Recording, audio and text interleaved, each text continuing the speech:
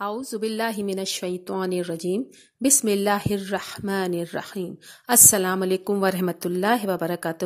YouTube کے al Bashir Islamic channel سے آپ کی بہن فرزانہ بشیر آپ سے مخاطب ہے۔ رمضان المبارک کا آغاز ہو چکا ہے۔ اللہ تعالیٰ اس ماہ میں بہت سی برکتیں اور رحمتیں سمیٹنے کی توفیق عطا فرمائے۔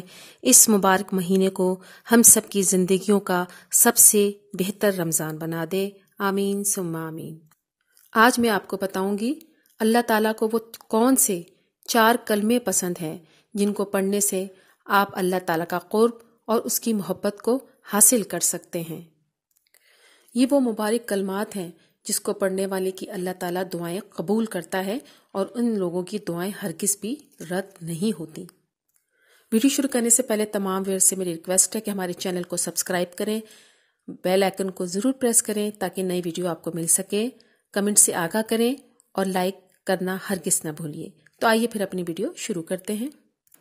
رمضان المبارک میں عبادتوں اور نیک امال کا ثواب دو گنا کر دیا جاتا ہے۔